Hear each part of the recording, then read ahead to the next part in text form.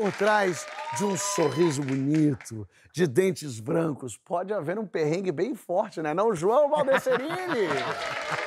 Às vezes a gente acha que tá com um sorriso bonito no rosto e não é bem assim que acontece. Né?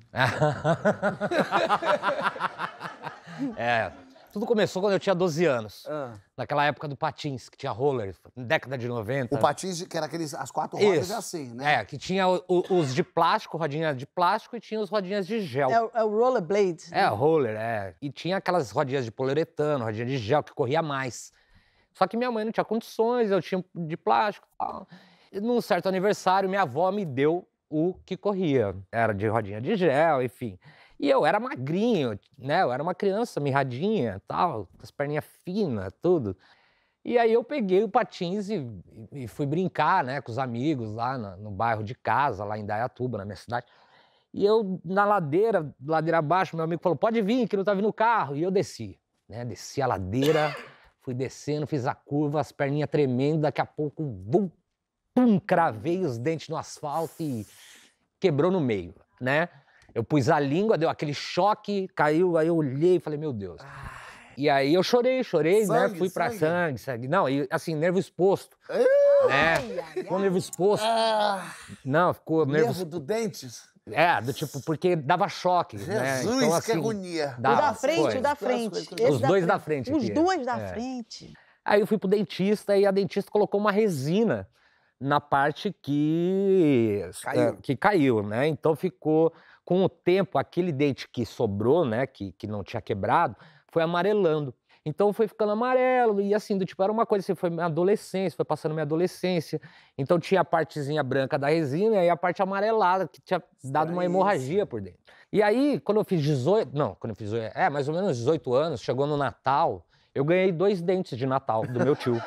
que bonito. É, sério, assim, não tava debaixo da árvore, mas assim, é, eu, eu ganhei dois dentes e eu fiquei muito feliz. Era, uma, era um implante que eu ia fazer Você ia arrancar aquele pedaço. e arrancar tudo, né? Eu fui no dentista... Tudo me- os dois da frente. os dois da frente.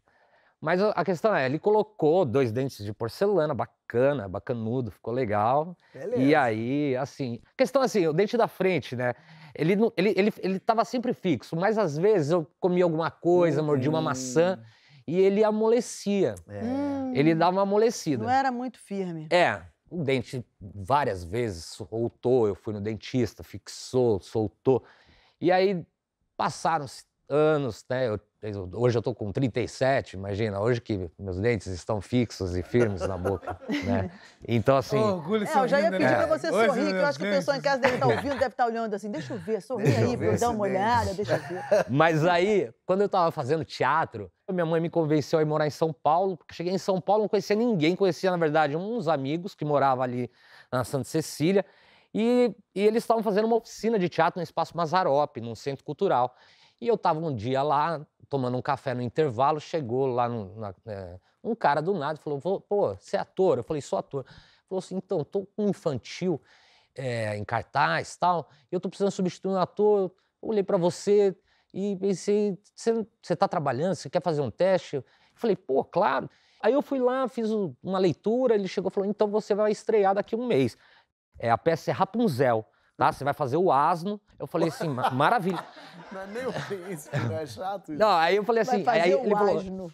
ele falou, você vai lá de sábado e domingo, assiste o espetáculo para você ver a marcação, né? As marcas das, das cenas, né? Para você ver o ator fazendo, você vai substituir ele daqui a um mês. Falei, tá bom. E aí eu fui um sábado lá assistir o espetáculo. E eu tô lá esperando para começar a peça, o diretor me chama, ela manda eu ir lá na coxinha. Eu fui lá na coxinha e falou assim: olha, João, aconteceu que o ator não veio hoje. Então, assim, você vai estrear hoje. Aí eu falei, hoje? Aí eu já fiz assim, ó. Já dei aquela. Porque o dente O- amoleceu o dente- na hora, né? Não, ele já tava. Foi o que eu falei, ele tava naquela fase que ele tava meio mole, só que eu não tinha ido no dentista, tava relaxado, tava com o dente meio solto.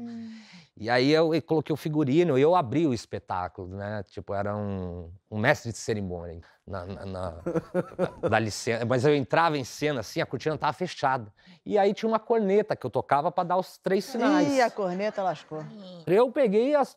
É, pó, pó, pó, do que eu toquei as três cornetas que eu dei a introdução, era para abrir a cortina. A criança que da primeira fileira falou: mãe, o dente dele voou. Aí eu olhei pro menino assim, a mãe falou: ah, fica quieto, fica quieto, moleque. Aí eu olhava assim, aí eu pus a língua, tinha um buracão no dente. Nisso, a cortina abrindo, a luz mudando, o elenco entra, porque era pra eu ter saído já. Aí eu comecei a do tipo. Aí eu fui, juro, comecei a procurar, porque eu falava assim: não dá pra fazer o espetáculo sem um dentão da frente. Comecei a me rastejar de quatro, de quatro, de quatro. Entrou no personagem. Ele Não.